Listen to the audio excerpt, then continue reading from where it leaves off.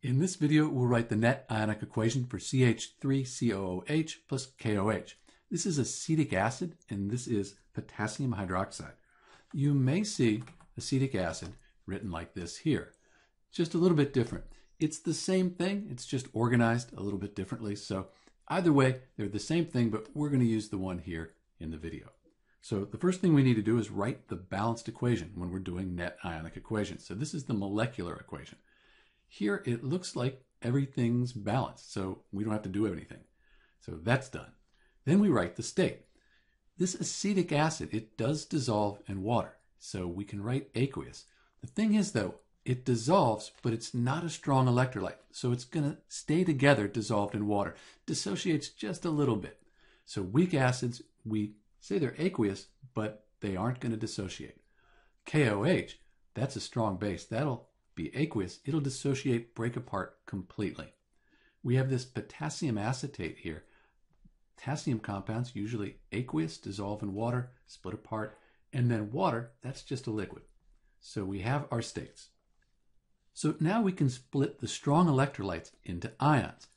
This is not a strong electrolyte, it's a weak acid. We don't do anything. Potassium, group 1 on the periodic table, that has a plus 1 charge. Hydroxide ion, that has a 1 minus. So you should memorize that OH, the hydroxide ion here, that is a 1 minus. We said that potassium, that had a plus, so the acetate ion here, that'll have a minus. So this whole CH3COO, that'll be minus. Water, we're not going to mess with. That's a liquid. We don't split it apart. So now we'll split the strong electrolytes. CH3COOH, that's not a strong electrolyte, so we're going to leave it together.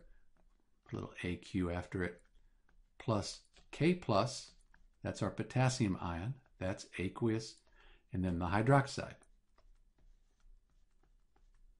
Also dissolved in water. These are the reactants. The products, we end up with this CH3COO minus. This is the acetate ion, that's aqueous, plus the potassium ion.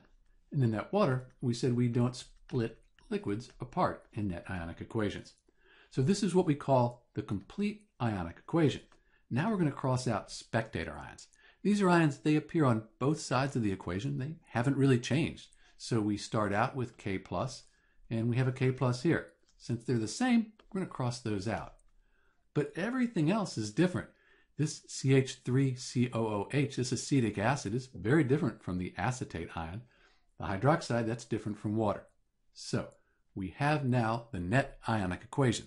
Let's clean it up, get rid of the spectator ions, see what that looks like. And this is the net ionic equation for CH3COOH plus KOH, acetic acid plus potassium hydroxide. And this is Dr. B. Thanks for watching.